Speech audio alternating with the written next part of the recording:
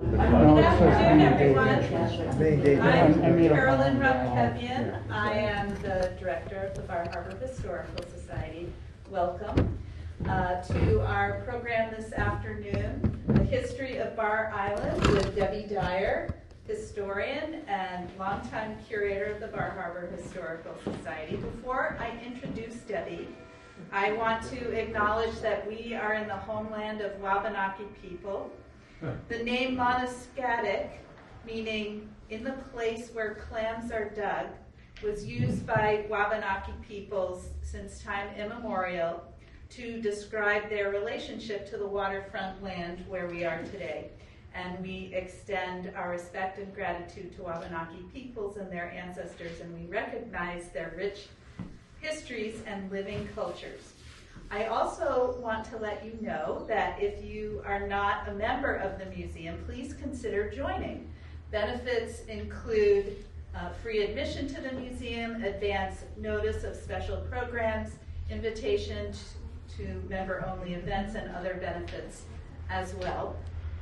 And please check our website and our Facebook page for upcoming programs. Our next lecture will be one week from today on Thursday, July 7th, The History of the Vibrant Summer Music Scene in Bar Harbor with David Chilprit. So now silence your cell phones.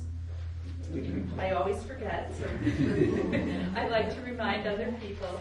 And join me in welcoming Debbie Dyer.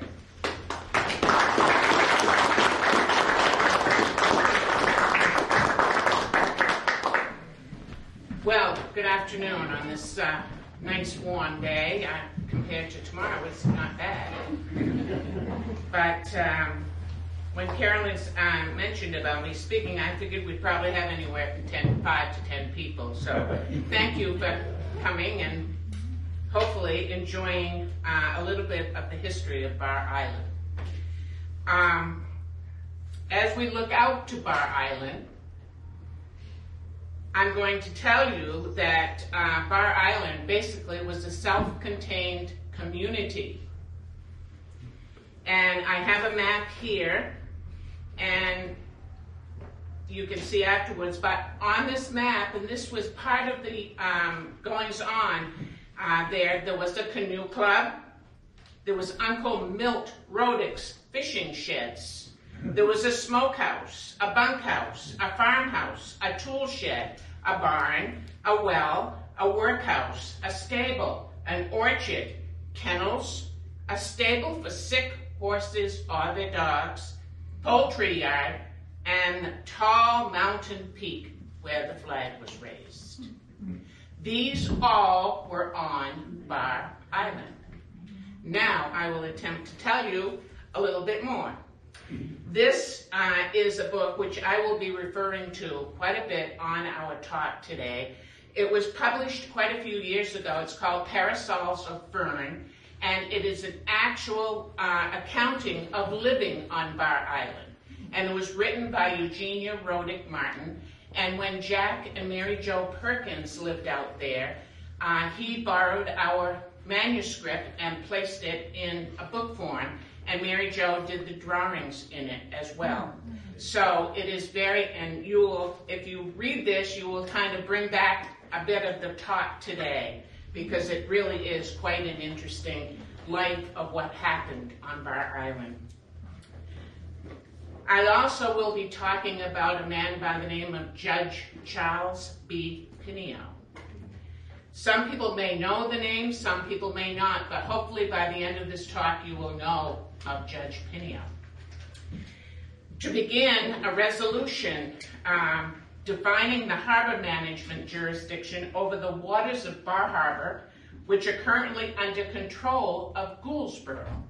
Now you know that all the Porcupine Islands, including Bar Island, are not anything to do with Bar Harbor. They all are owned by Gouldsboro.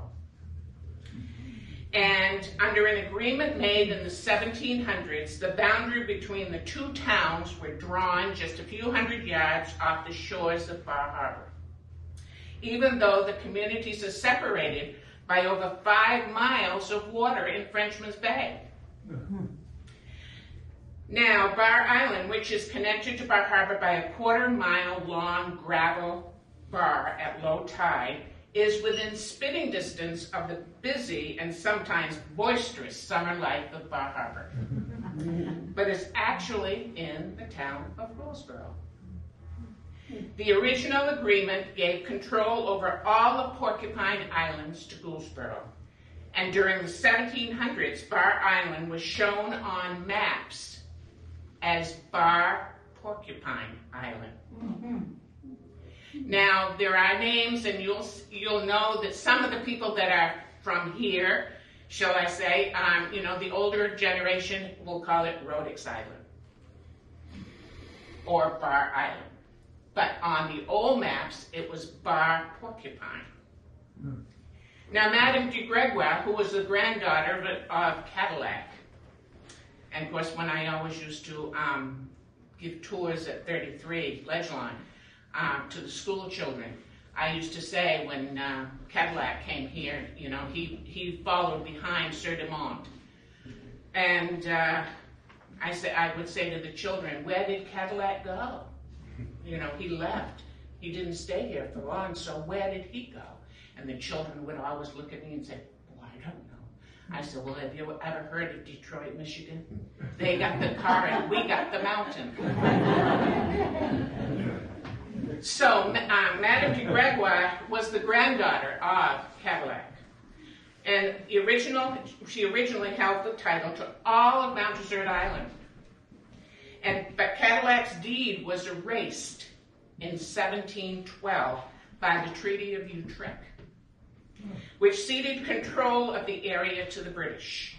The British placed the area under the control of Governor Bernard. And you've heard of Bernard on the other side of the island, part of, you know. So some of these names you'll be familiar with. Following the American Revolution, Madame de Gregoire, she pressed a claim for the return of her grandfather's holdings. To the beneficial role of the French during the Revolution, a Massachusetts court, which under jurisdiction over what is now the Maine coast, made Madame de Gregoire an American citizen and settled her claim.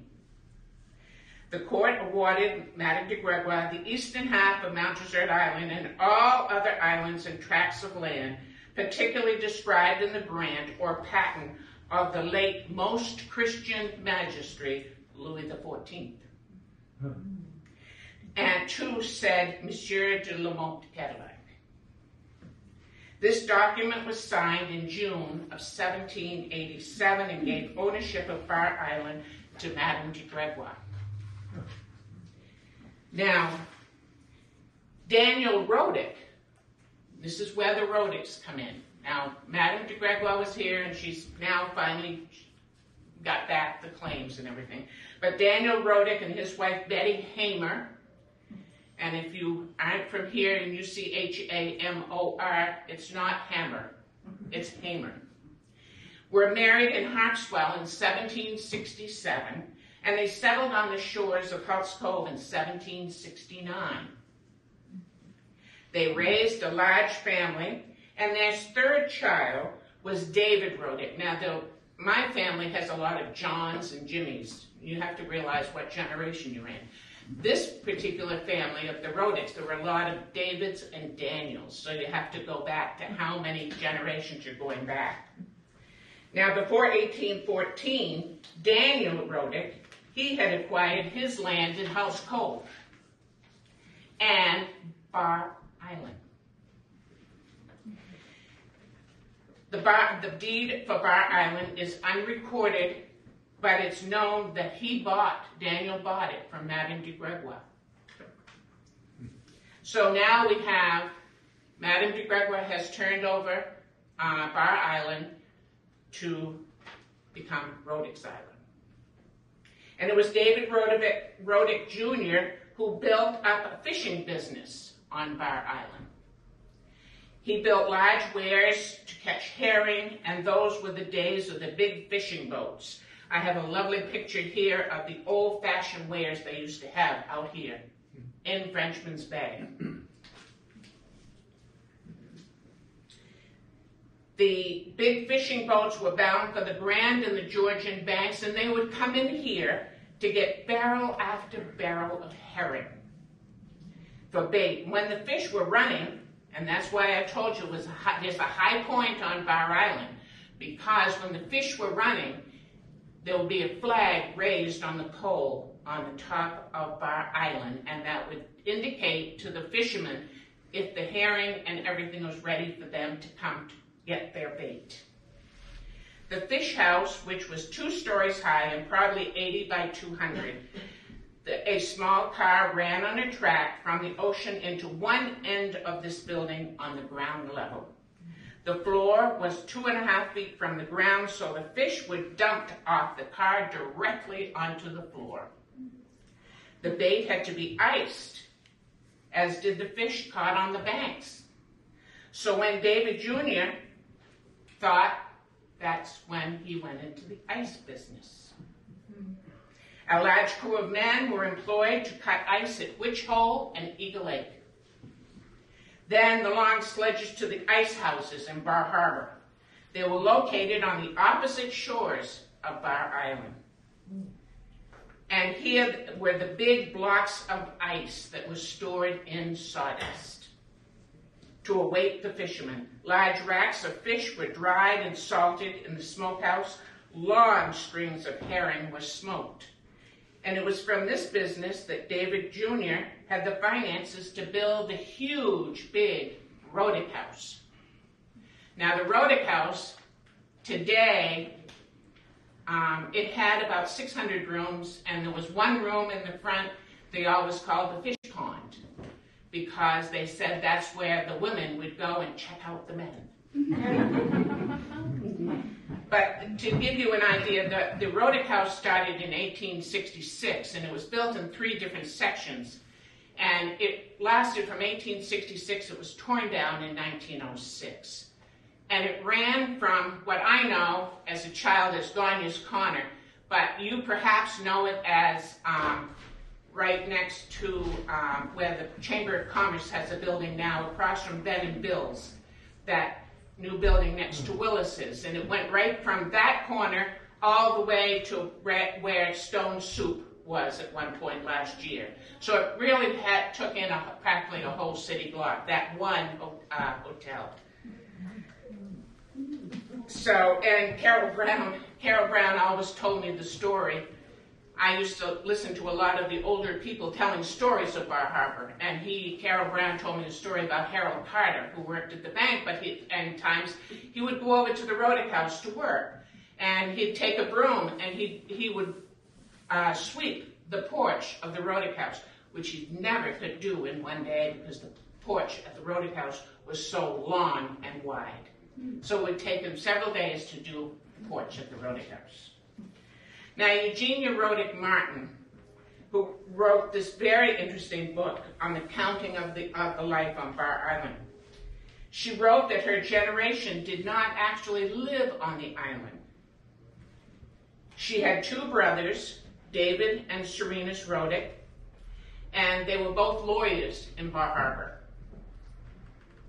and they would go out there at different times. Jack and Mary Jo Perkins, and perhaps you know him from CNN. He was a um, like a correspondent on that and give a lot on the A and E channels. Um, they t- took the uh, accounting and, and, did this book on parasols of. Now, Flora Rodick, she marries a man by the name of Charles B. Pineo. And that's where you get the Rodicks coming in on the Pineo line. And uh, Flora was, she was the one that managed the house. She managed all the affairs of the house. She did the woodlots.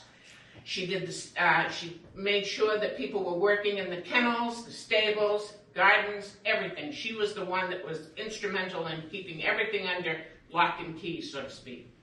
In the summer, when the gardens were at the height, it was a busy time in the kitchen over there at Bar Island. Big pans of peas and corn and all garden products were brought in every day to be canned, preserved, pickled, or salted. In the fall is when the pigs were killed.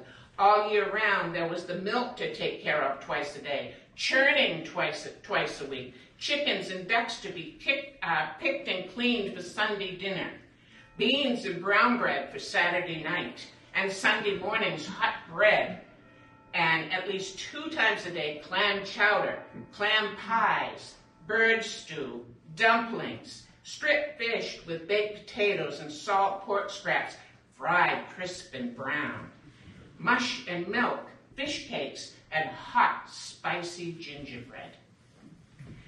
So they lived there, growing their own vegetables, having pigs, cows, chickens, and ducks. But one thing they had that you'll never surmise was sheep. Hmm. Hmm, they had sheep, but where did they keep their sheep? On sheep porcupine. sheep porcupine. Now the porcupines basically are all owned by Acadia National Park, right? Wrong. Mm-hmm. Sheep porcupine is owned by a very dear friend of mine who lives in Nevada. The Porcupine Islands are all owned except sheep porcupine. That's the only one that's not owned by the park. And uh, so they used to send out the, the sheep, and then they would bring them in, and they would spin the, their wool for um, and for yarn and cloth and whatever. We have a blanket that was made from the wool of uh, uh, from Bar Island. It's blue and white. And they had many, many kennels on Bar Island. They had about 200 dogs. Judge Pineo was a breeder of pointer dogs. And the famous dog, the stud dog, was Rip Rat. he was the famous dog. Norm Shaw gave this to the Historical Society. And I was thrilled to death with it because it's just, of course, being a lover of dogs anyway, I was just thrilled to death to have that. But he is uh, related to the Pineos. So that's how he acquired Rip Rat. Now, the dog lines over there, he had so many, you know, about 200 dogs. But that was very, very important to Pineo, with breeding of these pointer dogs. That not only genealogy, but dog lines. For, for the uh, breeding of dogs to go back to see where they, you know, who their parents were of the dogs. And David Rodick, as I mentioned, was a lawyer. Here he is surrounded by offspring of Rip Rat. and my grandfather, Leroy Harriman, um, he bred dogs with Pineo. And my mother always told the story um, that they lived down at 40 Glenmary Road. And when the dogs would be um, noisy or whatever out in the pens at 40 Glenmary Road, right in the center of town, so to speak, my grandfather would just whistle, my mother said, and the dogs just quieted right down. There wasn't another word. I, you know, I don't have that knack. Um, but just to show you is this a picture of my mother's brother, my uncle, John Harriman here. And with him is Ben and Beulah, the two dogs. And Ben was the offspring of Rip Rat. And so, therefore, um, my grandfather was bred these dogs with Pineo, and um, they were very, very um, important to Judge Pineo. In the 1880s, the Canoe Club was located on the north, northwest side of Bar Island, and it had been used for dances and parties and served as headquarters for canoeing. Several Indians had been employed as teachers, and it was generally a flourishing establishment.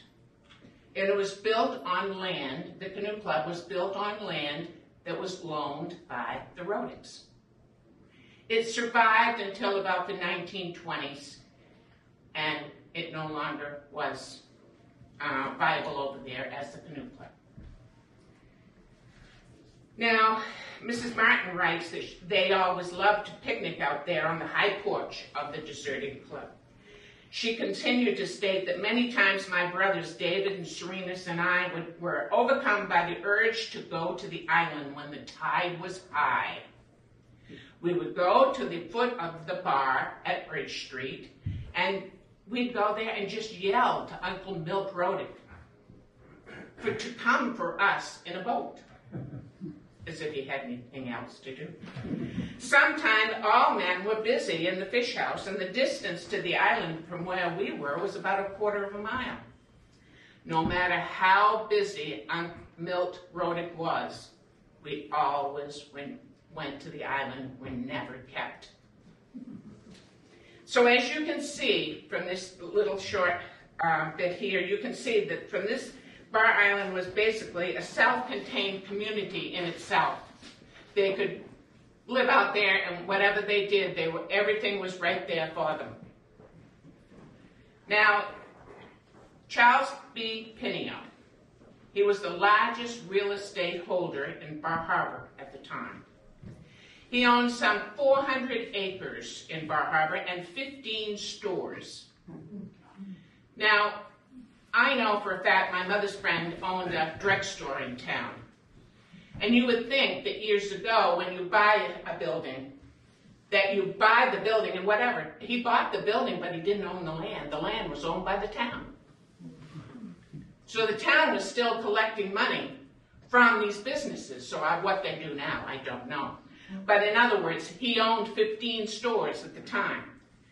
And and he sold 30 acres on the west side of Bar Island to E.T. Stotesbury, and we'll get into that, for $100,000 in 1909.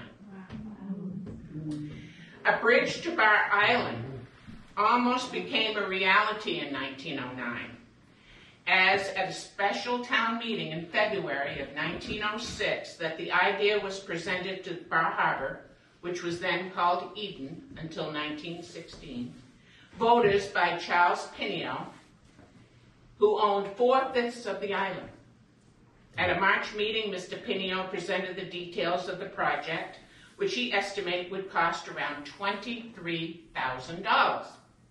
Mrs. Slater, Mrs. Horatio Slater, she owned another house on the island at the time, and she uh, had uh, was the fifth owner uh, and was opposed to the idea of a bridge. She reporting to the meeting in May, the committee had come to the conclusion that a causeway would be the most practical structure that would cost 35 to 45,000. The idea was brought before the 1909 meeting, and evidently there was nobody there from the town of Gouldsboro. A motion to build the, a, a bridge, though, was finally passed. All came to a halt when July 27th brought an injunction from a group of citizens. A group of six summer residents headed by John S. Kennedy. He was president of Pennsylvania Railroad at the time. He wished to prevent the building of such a structure. So on August 30th, all decisions were abruptly taken out of the hands of the voter when E.T. Stotesbury, president of Drexel and Company of Philadelphia, purchased 40 acres on the west side of the island, the price to be said to have been well over $100,000. This brought an end of any probability of building a bridge unless Mr. Stotesbury himself decided to build.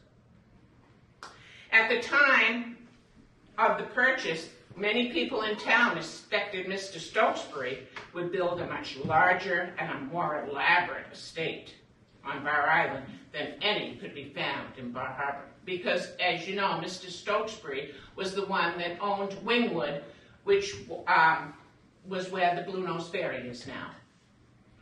And they had come to town um, and had purchased from the Cassatts four acres, which they tore down. The Stotesburys came here. He had been married before, and she had been married before.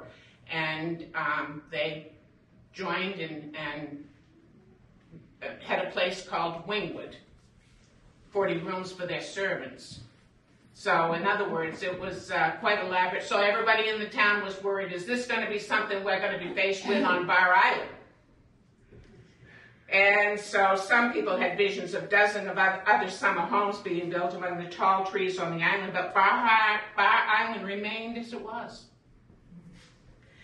And seven years after Mr. Stotesbury's death in 1945, the western part of the island was purchased by Rockefeller. John D. Rockefeller and donated it to Acadia National Park. Following many transfers of property on the eastern part of the island and the building of one cottage there, 25 acres were bought by the park in 1989 for 1 million. So that all of our island now is owned by Acadia National Park. And here is the paper where it went for auction on August 24th. And what Rockefeller saw, this being the part where he decides that to save this area and purchases that for all of us. So we get to the part now of a man by the name of Henry Buxton who wrote a book in 1938 entitled Assignment Down East. It's very good. It tells a lot about this, um, a lot of people back in, in that time. Um, and he particularly chose uh, Charles B. Pineo. And he had practically devoted his life to the development of Mount Desert. Not many people really hear about Judge Pineo. Uh, with devoting his life, we always hear about Charles Eliot, George, uh, George B. Dorr, and um, you know John D. Rockefeller. We always hear of those three people that were influential in establishing this. But now we get to the idea Judge Pineo is coming to light.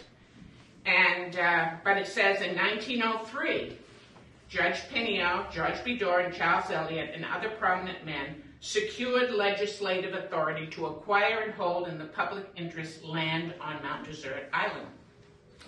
The Pineos originated from Italy, and they migrated to France, became Huguenots, and then driven to England, driven out and to England, and then to America. His maternal grandmother was English and his maternal grandmother's husband was Captain Doty, who died mid-ocean. And his maternal grandmother took command of the ship and navigated it to St. John, Canada. The British government, in recognition of her courage, presented her a tract of land which later became St. Stephen, New Brunswick, Canada. The widow of Captain Doty married Jonathan Pineo. And the two of them drove from Canada by ox team to Machias and Harrington, where Charles Pineo was born.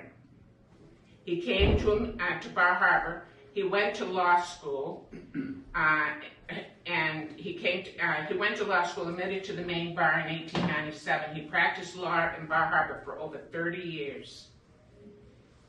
But the one interesting thing is, too, is his name we all know is Charles B. Pineo. But his maternal grandmother's uh, husband, maternal grandmother was English, and her cousin was Lord Byron. So therefore, you get Charles Byron Pineo. Judge Pineo stated that when he settled in Bar Harbor, the property valuation was $200,000. And in 1938, it was in excess of 7 million. I called the town office yesterday. I said, what's Bar Harbor's valuation now? 1.9 billion. A little bit different than the 200,000.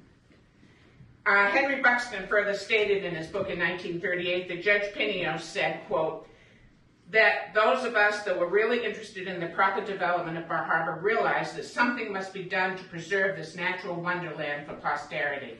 We did not like the thought that the time was not too far distant when these incomparable mountaintops would be disfigured with the keep-off signs of private owners. We felt these beautiful acres jeweled with fresh water lakes and bounded to the eastward by the tumbling Atlantic with the natural heritage of the American people and should be incorporated into a park where they should be available to every loving citizen. We formed a group of eight with Charles Eliot as chairman, the prime mover, George B. Dorr. And at the time, he was 80 years old. It was due almost entirely to Mr. Dorr's tireless activity that we received authority from the legislature to buy and hold land in the interest of the public. Now, this initial effort was result in the establishment of a national park that is second to none in the United States for sheer beauty. So Judge Pineo, or as we now know, Charles Byron Pineo, could see back in 1938 Bar Harbor would become a thriving resort. He helped to develop the national park for all to enjoy to this day. The buildings of the old Rodick farm are long gone, as are those of the homes of the Slaters and Jack and Mary Jo Perkins. Each day, many folks cross the bar, we watch them from here, to venture onto Bar Island, not knowing that years ago the island was such a thriving place to visit. Thank you.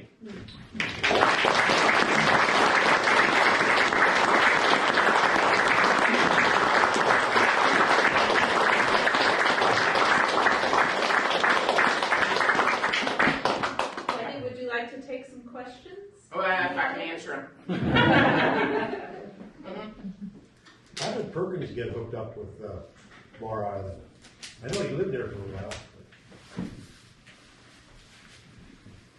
Jack came here and uh, the, the, he found that there was a certain acreage there. He called it Moosewood because on account of the wood that was over there or is there. And um, he bought that special section right there. But you see, he had to have generator power. He had to have everything that was self-sufficient for him because they didn't, you know, didn't have as much there as the Rodicks did to have the big establishment. So, but he, uh, they moved from here and went to uh, Florida. And Jack has since passed away, but Mary Jo sent a note not too long ago. Didn't he, didn't he do the uh, introduction to the park? You know, the Yeah, he video? did a lot of the videos. Video. Yeah, he did a lot of uh, Jeff Dobbs's videos because he was very interested and very much, uh, he had that voice that would project very well from being on TV for so, so many years. Yes. Do you know what kind of pointers they raised over there? No, all I know is uh, that they were the pointer dogs. And um, in this article here, it just says that uh, uh, he was a, a pointer named Bueller, and Ben was the setter. Okay. And uh, but he was very much into the uh, dogs for basically for the hunting for the rusticators Okay. and they would leave them here. In the wintertime, some would take them back with them, and uh, but most of the time that they would be breeding them here, and uh, and then they would be buying them to take them elsewhere or leave them here for the winter. Do you know if they're still breeding dogs from that lineage? That I don't. That I don't. Yeah, because it uh, you know he was the famous stud dog, and and whomever. You know, we got this, a lot of the uh, Rodick information we got when Dave Rodick's daughter died and uh, in Florida, and we got a lot of stuff from, from them. And, um, but by that time, Lord only knows where the line had gone, unfortunately. Yeah. And how many places around the island were they able to access by boat? Any besides right here? Mrs. Slater had a pier. Mrs. Slater had a pier, so she could uh, obviously do her own. And she was more, if you're looking directly at Bar Island from uh, the pier, hers was more over on the right-hand side. And the Rodicks were over on the left side. There's a small postal card here showing the back end of the old uh, Bar Harbor Club. But you saw uh, some of the fish houses and stuff in the, in the, in the uh, opening of the of the meadows there on Rodick's Island, Bar Island. Anybody? Jim, don't you have a question? No, you've been very thorough, Debbie. Well, if you have another question that you think of for Debbie, please feel free to go up and ask her. Uh, give us just a moment to move the table, and then we welcome you to have some refreshments on the piazza. So thank you again, Debbie.